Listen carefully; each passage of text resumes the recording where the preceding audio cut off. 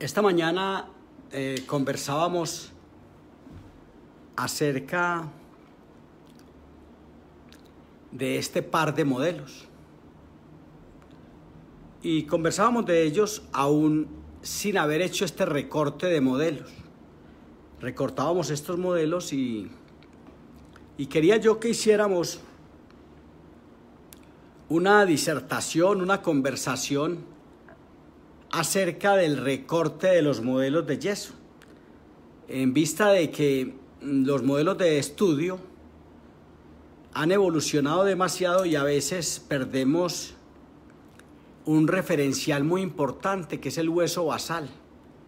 Hoy día en los modelos de estudio muy bonitos, eh, he notado yo que en algunas casas, mm, si no en la mayoría, eh, al momento de fabricar los modelos mm, con el dedo, se hacen unos flancos, unos fondos de surco vestibular muy elegantes y muy bonitos, que en el fondo no son el fondo de surco real. Entonces eh, veo yo mm, esa situación y se me ocurre darle un poquito de ahínco, de énfasis a los modelos de estudio. Entonces yo traigo estos modelos de estudio, mm, generalmente hemos venido haciendo un ejercicio que se llama diagnosis de modelos, donde yo tomo un par de modelos en mis manos y especulo, hago un diagnóstico especulativo que en la medida en que tengamos eh, las demás ayudas diagnósticas, posturométricas incluso y la observación clínica posturométrica del paciente, podríamos llegar a un análisis muy objetivo de, en esencia, qué es lo que tiene nuestro paciente. Entonces, eh, esta mañana tomó un este par de modelos, estos mismos modelos, y hacía un análisis eh, haciendo un montón de preguntas. Unas preguntas acerca de qué hay aquí y qué podemos ver y qué podemos resolver. ¿Cierto?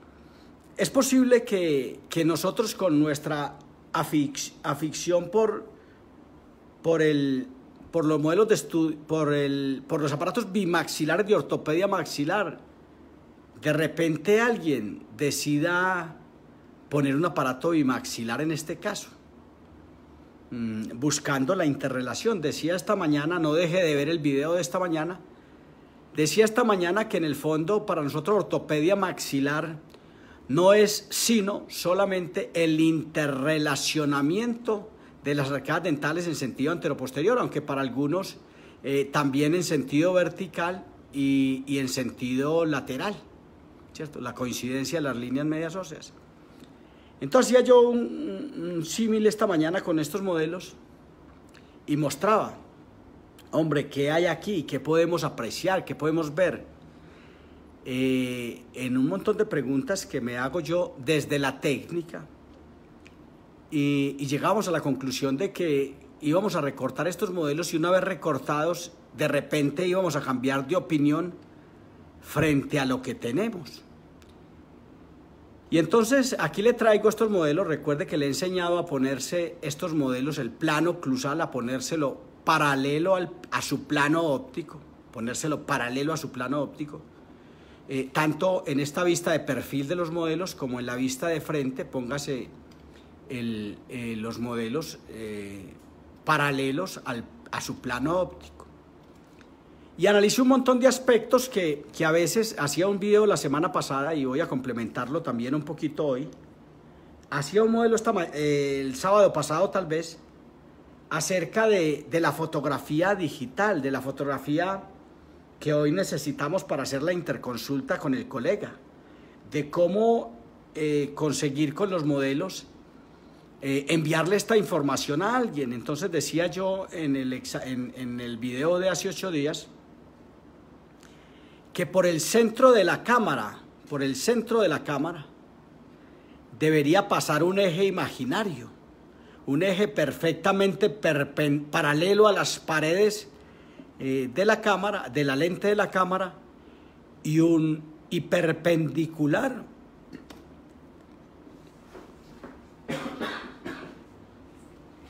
hiperpendicular decía yo, eh, perpendicular o paralelo al plano de la cámara, paralelo. y que ese eje imaginario debería entrar por el centro de la cámara y no debería estar ladeado para salir atrás de los modelos, pero a un lado, sino para salir exactamente por el centro. Es decir, ese eje debería salir a la altura del plano oclusal y salir en todo el centro. Entonces hablaba de ese, lástima que los dedos no me dejan mostrar lo que quiero decir, de cómo, de cómo ese eje imaginario de la, cama de la cámara tenía que salir paralelo al plano oclusal y en el centro, no a un ladito ni al otro.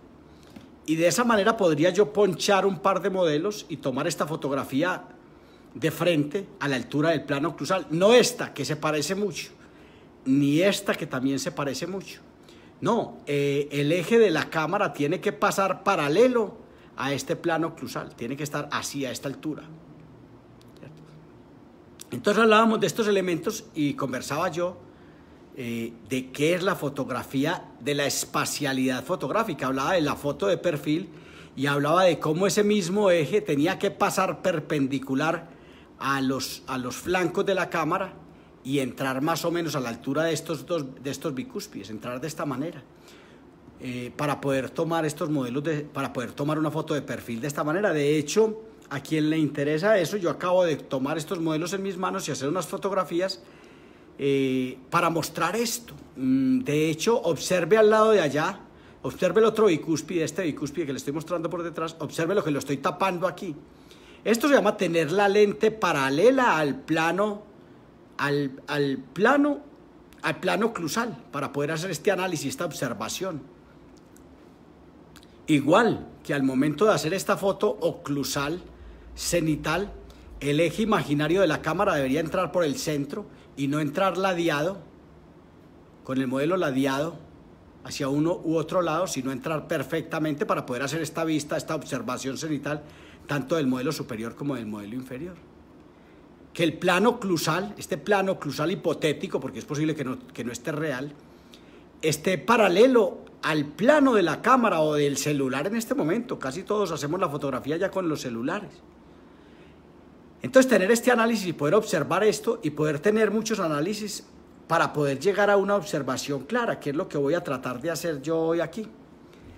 Entonces, si hacemos esto, es posible que si nosotros ponemos este plano clusal paralelo a nuestro, a nuestro plano óptico y entendemos este como el punto B, intercuspidando bien los modelos, recuerde que hay que quitar las burbujas positivas para poder intercuspidar los modelos y llegar de repente a esto. Y teniendo este plano cruzal paralelo al plano de nuestros ojos, de repente establecer esto como el punto A y establecer esto como el punto B. Y trazar una línea perpendicular a este plano cruzal que tenemos enfrente de nuestros ojos a esto. Trazar esta línea perpendicular de aquí y entender que de repente este punto B está por delante de este punto A pero que eso apenas es un análisis parcial y que eso no nos dice que esto esté prognata, que esto esté más adelantado o que esto esté más atrasado, eso lo veremos después. Entonces, hacer de pronto esos análisis, hacer esa observación, de, de repente poner los modelos de frente y hacer el mismo análisis. ¿Quién es este hueso basal? Recordemos que hay un proceso dental, un proceso alveolar, una, una especie de protuberancia que está muy íntimamente ligada al proceso alveolar. De hecho, hablemos más bien del proceso dentoalveolar. Hablemos de un proceso basal y veamos este proceso basal versus este proceso basal, teniendo este plano oclusal paralelo al plano de nuestros ojos y entender que si yo establezco una perpendicular, una línea que caiga perpendicular al plano oclusal, eh, formando dos ángulos de 90 grados, de repente por aquí me encuentro que este hueso basal está muy afuera y que si hiciera la línea desde abajo, de repente saldría como por acá, a un centímetro, a medio centímetro de separado. Si establezco esta línea desde acá hacia arriba, es posible que llegue acá y acá me encuentro que me falta medio centímetro para llegar al hueso basal. Es decir, que este hueso basal, que esta mandíbula está más ancha, eh, por este lado por lo menos, que en el hueso, que está más ancha. Ahora, un análisis parcial Veamos a ver mm, después si de repente este hueso basal, este hueso basal, cuando iniciamos este hueso basal, iniciamos un análisis teniendo el plano cruzal paralelo al plano de nuestros ojos, Si hacemos una línea perpendicular, de pronto nos encontramos que también este hueso basal está más adentro. En síntesis, que tenemos un hueso basal más deprimido en sentido antero-posterior, podemos verlo acá, como transversal. Como transversal. Y que esto es importante, porque aquí estamos hablando del análisis volumétrico referencial comparativo de este hueso basal, de este hueso basal que estamos viendo, versus este hueso basal con un referencial especial, que es el plano oclusal. Usted no puede hacer esto sin, sin tener un con respecto a qué lo estoy haciendo. Estoy haciéndolo con respecto al plano oclusal, a un plano oclusal que me debo poner hipotético, paralelo al plano de mis ojos, ¿cierto? Es esto. Entonces, entender este hueso basal, entender esta depresión del hueso basal y entender que de repente ese aparato ortopédico maxilar que tenemos proyectado para tratar esta clase 1, de repente no estamos frente a una clase 1, sino que estamos a una hipoplasia maxilar. En el video de abajo, en el video de esta mañana, perdón, no de abajo, en el video de esta mañana, eh, la primera, mm, el primer análisis que hacía, eh, lo hacía un hombre español muy objetivo. Eh, hacía un análisis donde hablaba, donde él desde los modelos, desde los modelos veía este hueso basal deprimido veía este hueso basal deprimido y decía, hombre, de repente sería bueno poner un disyuntor en abanico, ahora veremos a ver a dónde vamos a aterrizar. Entender que de repente aquí hay una estrechez esquelética importante que se aprecia en estos, en estos modelos donde, donde parece ser que todavía creemos que no hay información. A mí me entristece a veces ver que muchos profesores en el mundo dicen, no, es que en los modelos no hay información. En los modelos los modelos son la masa volumétrica de la entidad, llamando entidad a la alteración oclusal. Los modelos son la masa, son la masa volumétrica, son la entidad volumétrica a hacer el análisis referencial comparativo y entender quién es esta entidad versus esta entidad. Esto no podemos dejarlo de lado porque simplemente un profesor que solo aprendió a leer trazos cefalométricos nos va a decir que no, que en los modelos no hay información. En los modelos hay información. Ahora usted puede, puede convertirse en un observador de trazos cefalométricos o en un observador clínico o en un observador de esta entidad que también es la masa, que es la masa volumétrica referencial que se llaman los modelos, de, los modelos de trabajo en este caso, pero que pueden ser modelos de estudio. Cuando entendamos que los modelos de estudio fueron hechos para estudiar y que como tal no podemos saltárnoslos y hacer unos modelos muy bonitos donde no tengamos un, un hueso no tengamos un referencial, un importante referencial para observar. La observación referencial, referencial, es decir, con referencia a, es importante tenerla presente. Entonces, mm, veamos esto y analicemos qué hay aquí, qué es lo que hay aquí, qué es lo que tenemos para observar aquí. Porque esto se llama diagnosis de modelos y parece ser que en esa rimbombancia académica que hemos ido ganando, donde hoy eh, hemos abordado tal vez el tercer nivel, el tercer concepto para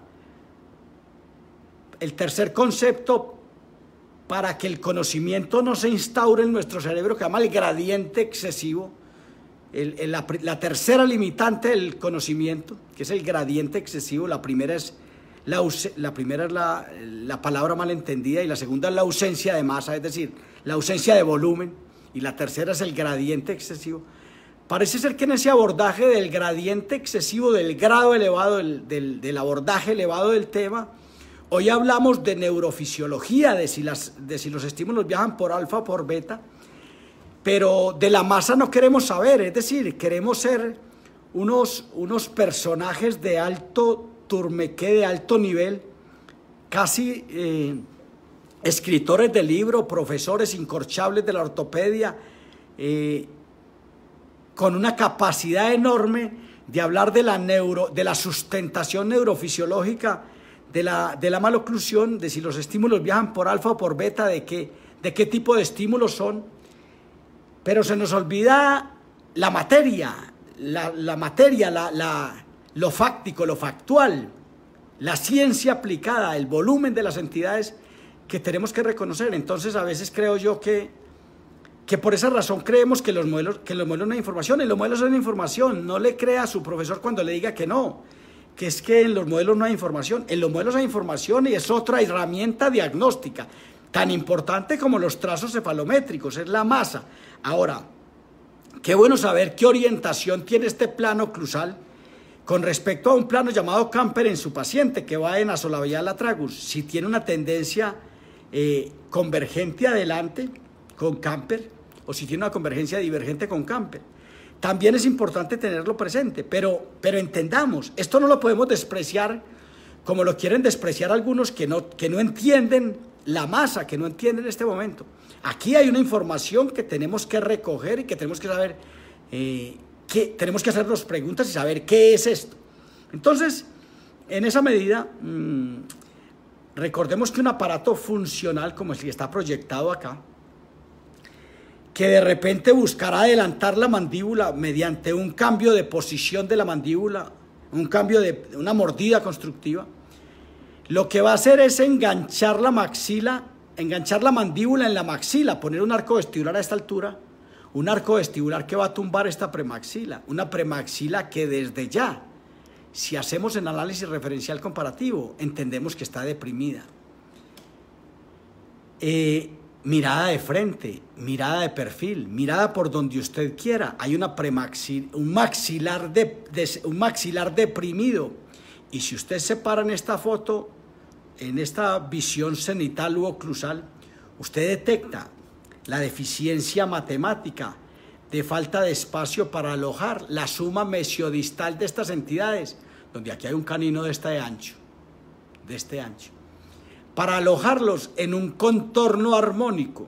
Es decir, aquí hay deficiencia esquelética, disparidad, discrepancia esquelético-dental, donde hay una maxila con una depresión importante que no va a tener la capacidad de alojar todos estos dientes y por ende, por consiguiente, usted va a tener que conseguir base ósea. Y esta base ósea, a esta edad, y de aquí para adelante, hasta los 19 años, usted no podrá conseguirla sino disyuntando la sutura media palatina. Si usted mide de acá, de este punto, a este punto, y usted detecta que aquí hay 32, 33 milímetros, y que este cráneo no es anglo, porque también es importante que vea el, fenotipo, el biotipo mejor de este paciente, eh, si este cráneo no es anglo, si los padres de este niño no, son no es un cráneo anglo, eh, de repente si usted encuentra 34 milímetros, usted puede darse por bien servido y pensar que usted tiene que poner un disyuntor en abanico, un disyuntor que abra más adelante o que necesita un disyuntor tradicional.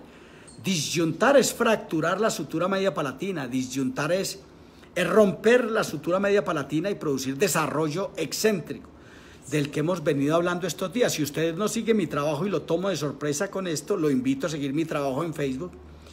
Eh, simplemente dándole seguir a mi trabajo, no, no puede agregarme porque tengo 5 mil amigos, pero le cuento, tengo 20 mil seguidores, 20 mil seguidores que siguen mi trabajo, valga la redundancia, y que por algo deben estar ahí siguiendo mi trabajo. Entonces aquí hay una información donde yo digo siempre, para aplaudir se necesitan dos manos. Eh, eh, la ortopedia maxilar no se puede ver a base de mera o solamente sustentación neurofisiológica de la ortopedia maxilar. Hay una ciencia factual, fáctica, ciencia aplicada, que es el método. El método terapéutico de ese que no hablamos nunca, de estos aparatos, del aparato como tal. La ortopedia parece ser que se le va la vida explicando la sustentación neurofisiológica, pero del método no sabe. Y eso me preocupa enormemente porque mi discurso está recostado al método, solo que yo me, yo me he desalineado para ir a buscar la clínica, la sustentación neurofisiológica y poder hacer esta opinión. Pero si usted no sabe de métodos, Usted no puede venir a revertir, a, contradecir mis opiniones sin saber siquiera qué es el método fáctico, qué es el método factual. Si usted sabe de la sustentación neurofisiológica del método, como veo yo a veces muchos profesionales que llegan a mi muro a criticar pero que se les nota rápidamente el desconocimiento del método. Si usted no sabe del método, si usted no sabe de este aparato, si usted no conoce los aparatos, usted no puede hablar de ortopedia maxilar. Usted tiene, tiene una mano para aplaudir la ortopedia. La ortopedia se aplaude con dos manos. Para aplaudir se necesitan dos manos. Usted necesita saber del método. Solo que la academia se le olvidó en la presentación toda la vida de la, de la sustentación neurofisiológica del método, se le olvidó que esto es el método, el método que es el camino para llegar a la meta, el método científico terapéutico. Y de aquí es donde tenemos que llegar al resultado clínico. Repito, para aplaudir se necesitan dos manos.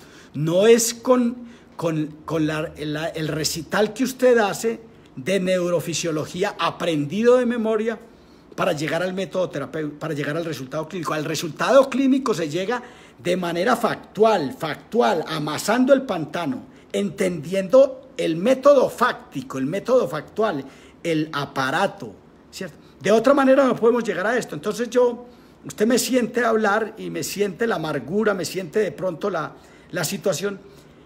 Nosotros no podemos seguir creyendo que es que esto es a base de, de, recitar neurofisiológicamente qué es la ortopedia maxilar. No, si usted no sabe construir el método, si usted no sabe manejar el método, usted puede ser un, un, escritor de, de, altísimo nivel, un recitador de neurofisiología, pero usted no podrá llegar al resultado. Para llegar al resultado se necesita saber del método, de lo factual del método. atiéndame esto, por favor.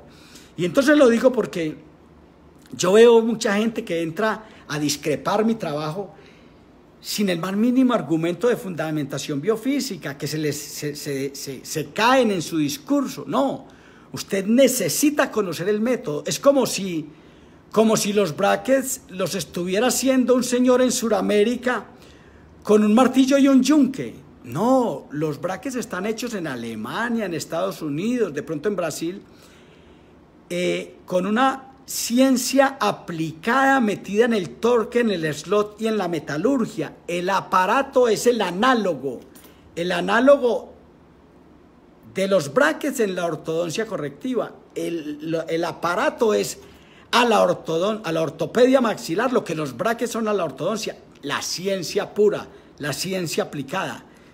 La investigación que nos muestra que esto, que esto va a ser, que esto es lo que va a resolver el problema. Entonces, entendamos esto. Mm, y se lo aclaro porque aquí tengo un par de modelos donde a pesar de que estamos planeando un aparato bimaxilar, ortopédico bimaxilar, para interrelacionar las arcadas, usted lo único que necesita aquí es resolver el problema de tamaño y de repente el problema de tamaño es tan esquelético que como este esquelético que es usted tendrá que resolverlo. Yo le propongo para este caso, para cerrar el tema, que usted ponga un disyuntor en abanico. Si tiene 33 milímetros aquí, si tiene menos de 32, ponga un disyuntor tradicional, resuelva este problema. Ahora, obsérveme esto que es a donde tenemos que llegar también. De repente, aquí hay que alojar un canino y aquí hay que alojar otro canino. De repente, aquí también falta un poco de espacio, pero Vamos a resolver este problema primero para que usted me lo entienda. Vamos a suponer que usted pone un tornillo que se llama variety o un tornillo que parece un arco lingual hecho por la casa Forestadel, la casa Leone, la casa Dentaurum, eh, que es un tornillito acá que parece un arco lingual. Usted pone ese tornillito acá y pone dos bandas en estos seis.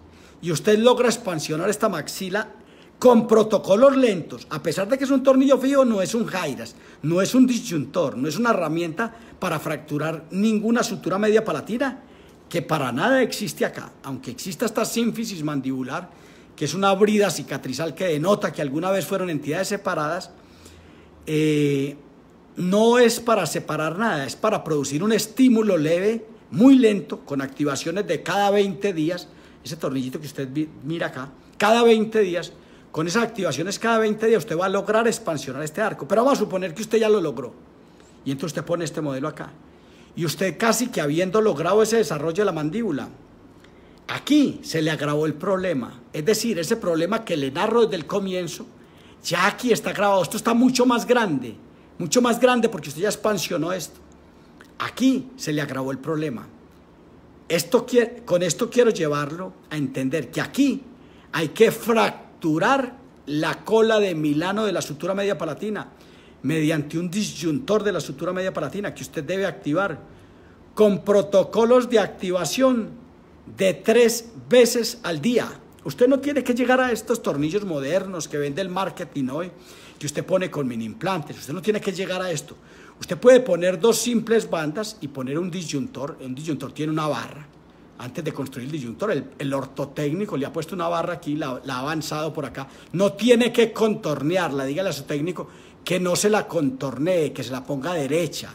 Que usted lo que necesita es descargar una fuerza en estos dientes. Entonces usted viene con esta, con esta barra, esta barra que viene de acá, y la voltea acá y la pone acá, hasta este punto. Y después de que tiene esta barra lineal, no contorneada, después de que el técnico tiene esta barra, igual esa que esta, a los dos lados, lineal, lineal, no contorneando. Cuando usted contornea, cuando usted tiene un disyuntor y contornea, expresa la disyunción, pero termina rotando dientes, no los rote. Usted lo que necesita es donde descargar una fuerza bruta que va a ser enseguida con protocolos de, con tres activaciones diarias. Entonces usted pone este disyuntor y pone ya sea un disyuntor en abanico si tiene más de 30, menos de 32 milímetros y si tiene más de 30, si tiene 33 o más, pone un disyuntor tradicional y pone esta herramienta. Y, y activa y deja esta herramienta en la boca dos, dos, tres semanas mientras el paciente se habitúa a esa agresión que usted le ha hecho con ese aparato.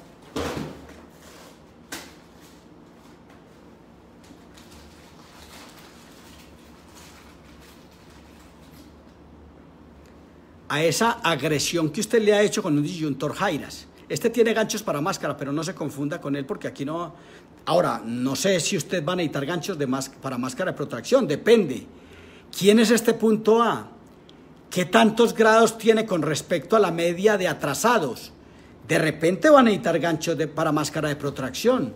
Si necesitara gancho, va a necesitar esto. Pero, pero asumamos que no, no, hablemos, no nos metamos en los problemas sagitales anteroposteriores de esta maxila, aunque muy, muy interesante que se haya suscitado esto en este momento. Para de repente poner ganchos para máscara, no los suelde, dígale a su técnico que no se los suelde aquí, que no le suelde este ganchito, no se lo suelde aquí, que parece más fácil, para él es más fácil soldarlo aquí en lugar de pasar y meterlo acá debajo de este, debajo de este brazo eh, para él es más fácil soldarlo acá, pero le va a reventar la banda o incluso le va a traer el molar porque de pronto esta banda le va a ceder, esta banda se le va a mover, esta banda se le puede mover.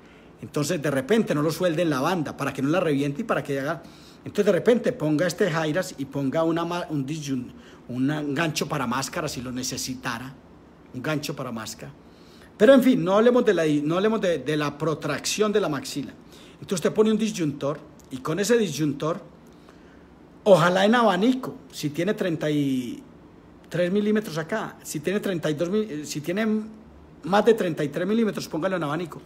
Porque la, la disyunción en abanico, es decir, que se abra más la sutura adelante, aunque ella con el Jairas en abanico o con el Jairas tradicional se le va a abrir más adelante siempre, por aquello de la sujeción del hueso atrás.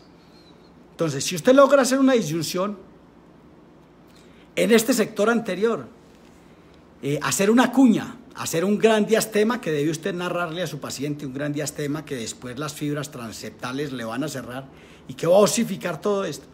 Si usted hace una disyunción de la sutura media palatina y dependiendo de los, de los grados que tenga en, déficit eh, con el SNA, depende de los grados que tenga en déficit, de repente ponga una máscara de protracción y con eso usted va a lograr no solo la disyunción de la sutura palatina, sino llevar este maxilar hacia adelante.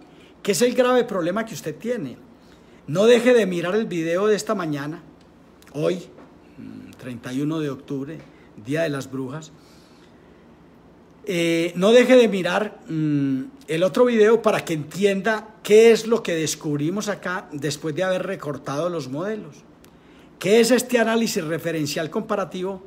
Para que entendamos que aquí hay un problema que se llama deficiencia esquelética de desarrollo transversal y de repente anteroposterior, que se lo dictaminará el SNA o la longitud maxilar. Entonces entender qué es lo que usted necesita hacer acá y no confundirnos con, con aparatos bimaxilares que, que, que, vamos a buscar disque relacionar estas arcadas, porque de repente con esos aparatos no vamos a lograr el resultado que queremos y vamos a terminar diciendo, no, tu hijo no respondió, mm, por eso estabas obligado a cuatro exodoncias de bicúspides o, y por esa razón vamos a, aplanar el perfil de tu paciente, vamos a hacerlo con una cara más, más atrás, con una menor dicción, con un perfil más, más, si fuese mujer, con un perfil más, más, más viejito, pero, pero no vamos a irnos hacia adelante, porque todas nuestras terapéuticas en el fondo, eh, y ortopédicas, todas quieren ir para atrás, todas quieren ir para atrás. No deje de mirar mi trabajo, se llama la oclusión estable, también puede conseguirse hacia adelante. También se llama la expansión excéntrica en abanico. La, lo, incéntrico, lo incéntrico que hemos hecho toda la vida de esconder, lo incéntrico que esconde versus lo excéntrico hacia adelante. La postura, el traer, la, el traer los maxilares hacia adelante. Le repito, la oclusión estable puede conseguirse tanto atrás como la hemos conseguido toda la vida como adelante. Pero para eso tenemos que llegar a unos procesos cruciales de, crecimiento y desarrollo y producir ahí el desarrollo, a, resolver los problemas de función, porque a base de resolver los problemas de forma no es posible. Ortopedia maxilar es la resolución de los problemas de función, de la miofunción, como debe referirse, más que la función, que la función evoca la función de las máquinas, la función de los brackets, la función de los aparatos. No, la miofunción, la función muscular. El prefijo mío alude a la función muscular y por ende pensemos en resolver los problemas de miofunción. Pensemos en esto. Revise mi trabajo desde hace un mes que venimos hablando de, de la expansión excéntrica en abanico. Por su atención, muchas gracias. Un saludo especial para usted, doctora Mariluz Rivera, en Bogotá seguidora de mi trabajo y, perteneciente a mi grupo WhatsApp académico de ortopedia maxilar, eh, donde hay un grupo WhatsApp en cada uno de los países de Latinoamérica que yo dirijo y al que lo invito a seguir. Eh, no deje de mirar en el cabezote de mi muro mi, celular, mi número celular, que es mi, mi mismo Facebook, para que se una mm, a a, mis grupos académicos WhatsApp, donde estaré montando cotidianamente estos, estos, estos videos y ante todo eh, promoviendo unos programas académicos que haremos en su país, eh, a donde estoy visitándole generalmente. Eh, por su atención, muchas gracias. Dios les guarde.